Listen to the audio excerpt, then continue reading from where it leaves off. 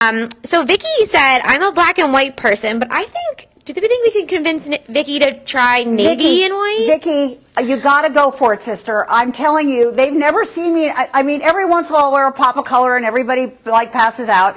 And when when when Em and I were getting ready for the show, she said navy, and I go. Well, what am I going to wear? And she goes, you're going to wear navy. And I put it on and I went, you know what? I love navy. It just looks fresh and it looks summer. You girls agree? Like it's just fresh and it's new and it gave me an, a new excuse to buy some more clothes because I got enough black.